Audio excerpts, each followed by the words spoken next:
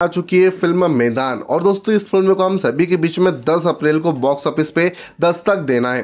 अब दोस्तों मूवी का बज और क्रेज तो काफ़ी अच्छा बना हुआ है। और दोस्तों मूवी को कहीं ना कहीं कम स्क्रीन देखने के लिए मिल रही है। पर दोस्तों, बात करी जाए उसके बावजूद भी, क्या पता क्यों मुझको लग रहा है कि अजय देवगन की फ़िल्म मैदान बॉक्स ऑफ़िस के ऊपर तबाही मचाने वाली है। हालाँकि दोस्तों मूवी के अंदर इतनी बड़ी स्टार कास्ट नहीं है, क्योंकि दोस्तों मूवी के अंदर आपको अजय देवगन और प्रिया मानी जैसे one of the best character काम करते हुए नज़र आ रहे हैं। बाकी जो आपको देखने के लिए मिलेंगे अदर कैरेक्टर होंगे। और दोस्तों, उन सबका काम भी काफ़ी अच्छा देखने के लिए मिल रहा है। मूवी का जो स्क्रीन टोन है वो एक्टी थ्री की तरह देखने के लिए मिल रहा है। और दोस्तों, उसी के साथ में इस फ़िल्म को डायरेक्ट करा है अमित शर्मा ने, जिसको दोस्तों, इसके पहले काफ़ी अच्छी अच्छी फ़िल्मों को डायरेक्ट करने का एक्सपीरियंस है।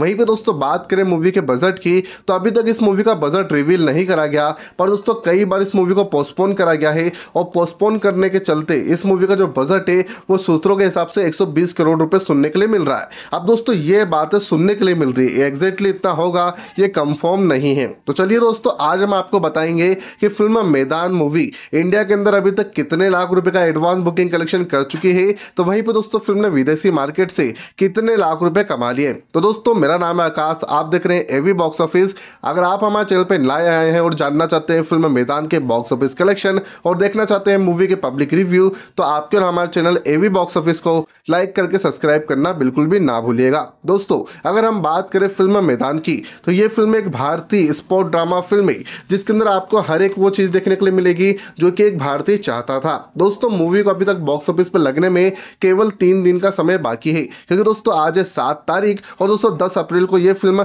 बॉक्स ऑफ़िस पर दस्तक दे जाएगी। तब दोस्तों हम सभी के बीच में मूवी का बस और क्रेज कितना है, ये हमको पता चल जाएगा। अगर बात करी जाए तो इस फ़िल्म ने केवल अभी तक इंडिया के अंदर जब से एडवांस बुकिंग स्टार्ट हुई है, तब से लेके अभी तक आठ हज़ार टिकटें सेल कर दी है, जिससे इस मूवी का एडवांस बुकिंग कलेक्शन सत्रह लाख रुपए का अभी तक हमको देखने के लिए मिला है। वहीं पर दोस्तों मूवी ने अभी तक विदेशी मार्केट से बीस हज़ार डॉलर का कारोबार कर लिया है, जो कि दोस्तों बॉक्स ऑफ़िस कलेक्शन में होता है सोलह लाख रुपए। तो दोस्तों अगर इन दोनों को जोड़ा जाए तो ये फ़िल्म अभी तक हम सभी के बीच में तैतीस लाख रुपए का कलेक्शन कर चुकी है, जो कि दोस्तों एक काफ़ी अच्छी और काफ़ी बेहतरीन रकम है। अब दोस्तों, आपके ओपिनियन क्या है कि जब ये फ़िल्म रिलीज़ होगी तो अपने पहले दिन कितने करोड़ रुपए की ओपनिंग लेगी?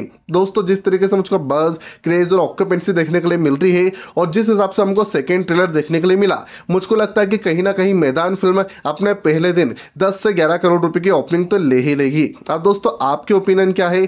आपकी राय क्या है? कमेंट में बॉक्स में कमेंट करके ज़रूर बताइएगा।